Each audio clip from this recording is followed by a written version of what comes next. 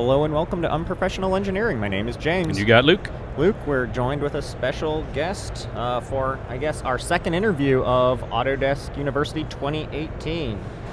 With us today, I want to make sure I get the company right. We have Paddy Ryan of Gaga Muller. Muller. Muller. Ah, so I need to well- practice my Irish. Well, there's an Irish way of saying it and then an English way of saying it. We say Mueller. Mueller. Sorry. GagaMuller. I of- apologize.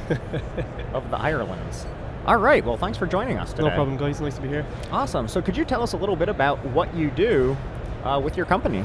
Yeah, um, I suppose it would all start with Mace. Um, I joined Mace about two years ago on the Facebook data center construction.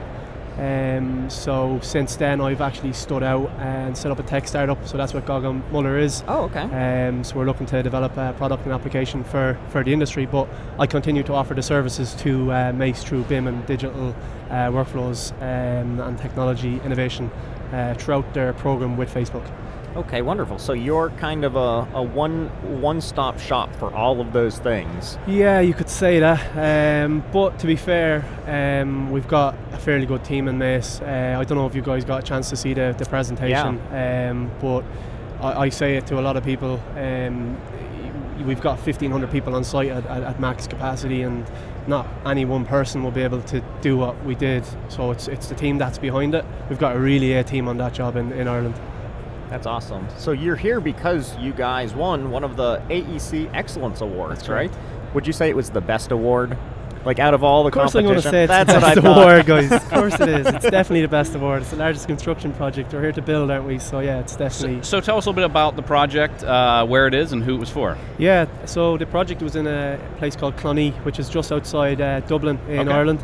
Um, huge project. It was a 90, 298 acre site. Whoa. Um, Acre? Yeah, 298 acre site uh, where we've got three um, phases currently on. So we've just come into the close of the construction of phase three, uh, and we're just about to start the design right across the road on another plus 200 acre site for more data centers. So you guys can upload all your live streams and your pictures of cats and all that That sort is of stuff. wonderful. Yeah. I have a lot of cat pictures, Yeah, so this there is you go. very This is where important it's going. to It's going to Ireland. It's going to Clonee outside Dublin. His That's pictures.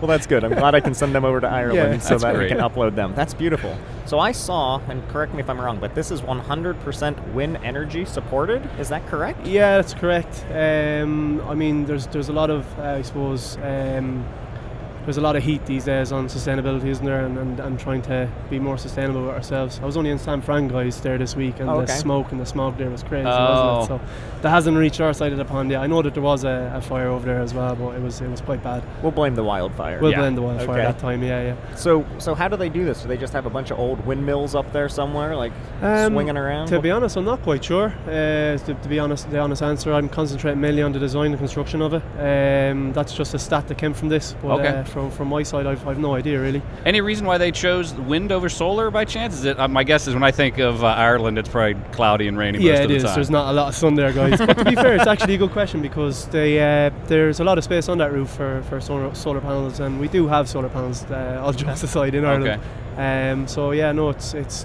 probably something that is a design feature maybe in the future for So, them. so I have an Ireland question. I've to- I've been for it. told by many people that Guinness beer tastes different in Ireland than anywhere else. Yeah, so this is true, coming Yes. from someone from Yeah, Ireland. it's absolutely fantastic. You have to try it in Dublin. You so w- uh, w- why would it be different?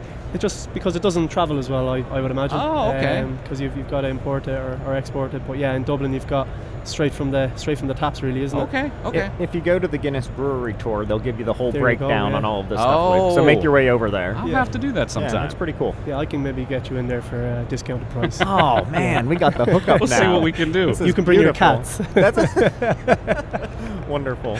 So we saw this number, um, and I think you had mentioned it. Maybe there were 1,500 people contributing at one time. Is, that- is that right? yeah, that was probably at max capacity. Um, so we've got a lot of uh, companies on the job. There's a lot of coordination uh, involved in it, um, and yeah, I mean total like we're doing the program. So we've got a couple of other jobs. We've got a job in Denmark as well. Okay. Um, so in total, in terms of upskilling these guys and almost bringing them to the uh, to the level that we need them to operate on to, to do what we do.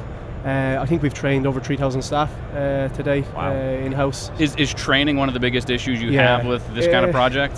Do you know what? Yeah, it, it kind of is. Um, there, there's a lot of hard work involved in it. I, I see a lot of. Um, we spend a lot of time in, in the BIM model and getting the coordinate and getting in the right place. So we have to be mindful that what happens out on site is is captured, um, and we have to make sure that the guys on site are uh, up to speed with what we're doing. I saw you were doing a lot of cloud-based uh, software as well. Were you were you having trouble getting everyone on board with that? I know there's a lot of Yeah. issues with some companies and the cloud. Um, do you know what? Not not as much. I suppose our client is Facebook at the end of the day. So This is true. That's a good point. Yeah, they they to be honest, uh, I, I must say that one thing is Facebook have been very good Okay. because as a client, they've almost let us do what we wanted to do and they've kind of guided us along the way. Uh, you don't get that with a lot of clients, so we've been allowed to maybe spend a little bit more money than most pro- projects can, but we've made it back in leaps and bounds in terms of efficiency and productivity. right? Yeah. I want to. Speaking of efficiency, uh, I was reading something else about this, or maybe I heard it on stage today. But with your Revit models, the management of them, I think it was said dropped from like 440 minutes per week to 10. Yeah, that seems it- ridiculous. You know what? And it's it's it's not just Revit either. I mean, it's um it's a realm of things. I mean, there's uh, we started using BIM 360 Design. I don't know if you guys are familiar with Mhm. it. Um, Of course you are. Um, sorry. Um, and we've also started. Uh, well, we've always used uh, BIM 360 Glue, and I suppose that that number and that term came from how we used to previously federate models and, and coordinate. And when we first started, um, it would take you'd be coordinating in a model that was already probably three or four days old Yeah. uh, and it wasn't really live and interactive. Whereas in, in the platform within Glue and within BIM 360 Design, you've got literally immediate uh, access to the latest uh, design. You have to be kind of careful with that as well because when there's changes happening during Sure. the, the coordination phase and b- prior to before you get your approval drawings out on site, um, you got to make sure that the changes in the model aren't happening after your drawings are approved, for example. So there's So, so speaking of access to the model, uh, so VR ended up being a, Yes. a, a pretty big part of this project. Is that right? um, it could it could have been bigger to be honest. Okay. Yeah, uh, but yeah, we do use VR. Uh, we currently use it for one step of the process. So what we found a lot was we would waste a lot of time cutting sheets from Revit, get putting them through the approval process, only for to come back with negative comments and status B and C's. Um, so we decided we'd try and utilize VR. So before we even cut any sheets and issue them through the approval process, we would bring the client into the room and go, look, this is what this room is going to look like. Mhm. And they loved it because they got to really see firsthand in, in, in, in virtual reality environment things like access and maintenance, things they probably wouldn't necessarily see on, on a drawing. Gotcha. So you said you could have used it more. Do you think in the future you will use it more, or do you think maybe because it was Facebook that's a little bit different? Like other Um, clients maybe wouldn't be as into it or as necessary. Do you know what? I s- I, I'll be very honest. I used to think VR was a bit of a gimmick. Yeah. Um, so uh, I think a lot of people might think yeah. that thought that sometimes. too, so. But if you use it in in isolate in, in areas where you can actually, I, I always go back to it. It always goes back to the people and the logic. You- Software and and and um, the, these these new digital tools that we're using, they're exactly that. They're just tools, uh, and you can't change the logic. So if you use VR for something that doesn't change the logic or the process, then it's definitely worth doing. So we use it for uh, drawing approvals essentially. But you could use it for a lot of other stuff like planning permission and things like that prior Right. to, and it, mo- maybe more in the design phase. I saw it on stage today, and it was just really cool, saying like, "Oh yeah, here's what the space is like. Like it's nothing right now, but Yeah. then this is what it's going to look like. That would be a game changer." So, considering the size uh, of this job, uh, there was also a lot of drone work that was done and scanning. Is that Yeah, right? yeah. Could, could you talk about that for a second? Another thing that I thought was a gimmick, but Yeah. apparently No, people use that. I always thought drones, drones are just something that YouTubers do whenever they're jumping off of waterfalls, Right. right? Isn't, isn't that what drones no, are for? y- No, I'm telling you, like I again, uh, we've just so previously we had drones. Um, it was a third-party company that would come in and fly the drone every couple of weeks, and it was like a progress image.